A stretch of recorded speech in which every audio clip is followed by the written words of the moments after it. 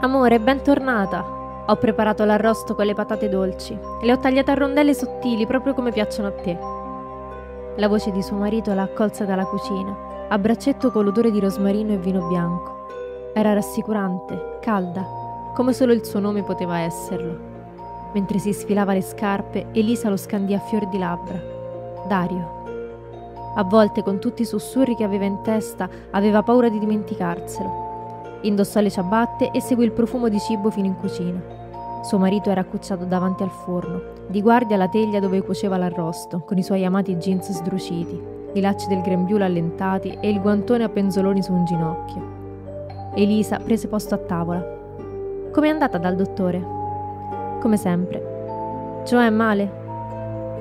La leggerezza con cui parlò era la stessa di quando la chiamava per chiederle se fuori piovesse o se poteva prendere il sapone al supermercato. Pungeva appena, come la carezza di una foglia secca.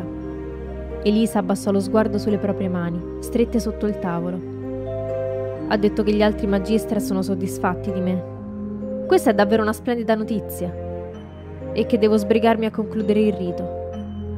Dario si sedette al suo fianco e intrecciò le dita alle sue.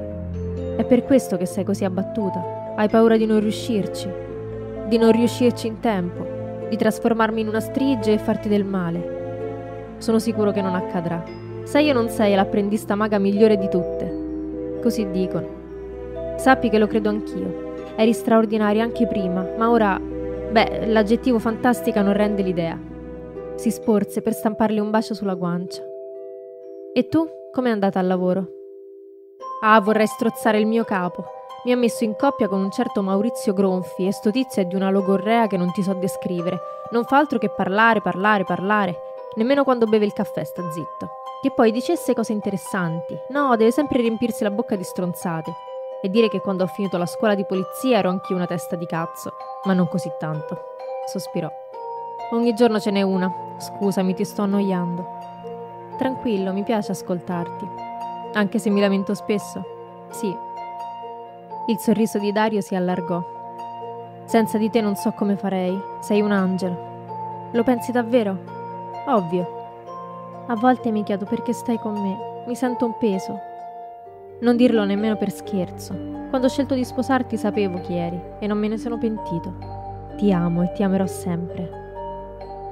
Elisa avrebbe voluto rispondergli che era lui l'angelo, che se non ci fosse stato la sua vita non avrebbe avuto senso. Invece rimase in silenzio, mentre Dario tornava a controllare l'arrosto.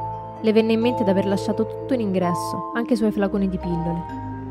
Hai preso le medicine? le chiese Dario. Non ancora. Vai, non servono due paia di occhi per guardare l'arrosto. Elisa abbozzò un sorriso e lo lasciò al suo lavoro di sorveglianza. La borsa era sulla sedia, dove l'aveva lasciata, una gobba squadrata sotto il cappotto. Un brivido le attraversò la spina dorsale. Quando espirò, il suo fiato si condensò in una nuvoletta di vapore. Gli artigli di Asciaccu emersero dalla sua ombra e le accarezzarono le spalle. Se vuoi essere una grande maga, dovrai rinunciare a quelle deliziose caramelle, mia cara. Oppure credi di poter scalare la gerarchia dell'Amab senza vista e udito? Zitto! Cos'hai oggi? Sei più recalcitrante del solito. Le leccò una guancia con la lingua appuntita. Il suo alito sapeva di sangue e putrefazione.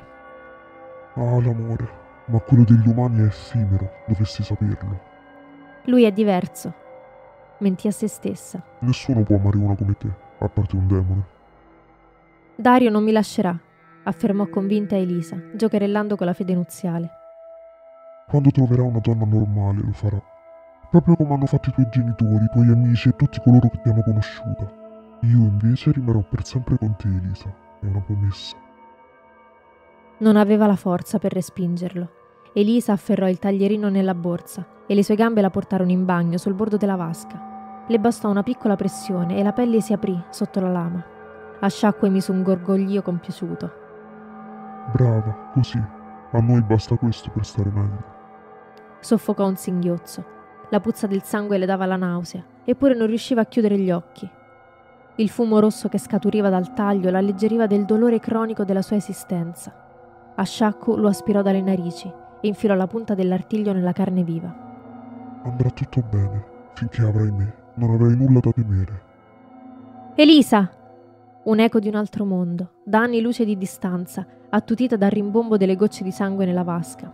Le braccia di Dario però erano lì, attorno a lei, su di lei. La strinsero forte e un respiro caldo si infranse sulla sua fronte, imperlata di sudore freddo. Calma, va tutto bene, ora ti medico. Elisa lo seguì senza vederlo. Si muoveva in fretta, troppo per la sua mente anestetizzata. Capì davvero che cosa avesse fatto solo quando Dario tagliò una garza e gliela avvolse attorno al braccio. Io. La sua voce si frantumò. Nascose il viso tra le mani e pianse in preda ai tremori, piegata su se stessa e su quel dolore che la stava mangiando viva. Dario la abbracciò e la strinse forte. Il battito del suo cuore le riempì le orecchie ed Elisa ci si aggrappò come quando da bambina stringeva il cuscino a ogni scoppio di tuono. Non ti lascio, Elisa, sono qui, non ti lascio. Lo ripeté ancora e ancora, finché i singhiozzi non si calmarono. Allora la scostò e le asciugò le lacrime con i pollici, senza mai smettere di sorriderle. Io avrei un po' fame, ti va di assaggiare l'arrosto? Non sei arrabbiato? balbettò lei con voce roca. No, amore, so che non è colpa tua. Le scostò i capelli dietro le orecchie e la accompagnò in cucina. Dopo cena Elisa sarebbe voluta sparire, invece Dario pretese che rimanesse con lui mentre lavava i piatti, durante il film, alla pausa sigaretta. Non la lasciò andare e continuò a parlare come se non fosse successo nulla. Quando cercarono rifugio sotto le coperte, la trasse per un fianco e la baciò sulle labbra. Quel demone può dire quello che gli pare. L'importante è che tu non gli creda. Ti amo, Elisa, non ti lascerò mai. È una promessa. Elisa intrecciò le dita a quelle di lui e finalmente si rilassò. Chiuse gli occhi, cullata dal ritmo del respiro di Dario, e in pochi minuti si arrese al richiamo del sonno.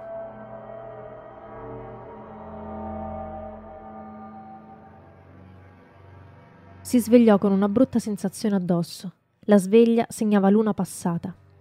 Amore? Chiamò. Passò una mano sul braccio di Dario, freddo, come l'aria nella stanza. Amore! Lo scosse forte, sempre di più, finché la disperazione non la spinse a girarlo supino. Gli occhi di Dario, spalancati nel buio della semioscurità, le rimandarono uno sguardo cieco. Che cosa gli hai fatto? ringhiò alle tenebre, ammassate intorno al letto. La risata di Asciaccu le vibrò nelle ossa. Non agitarti. Senza di lui staremo meglio, fidati. Dimmi dov'è.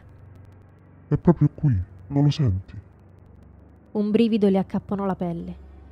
Il demone aveva portato Dario sul fondo della sua anima, dove era inchiodata la catena che li vincolava, dove sapeva che lei non sarebbe mai scesa.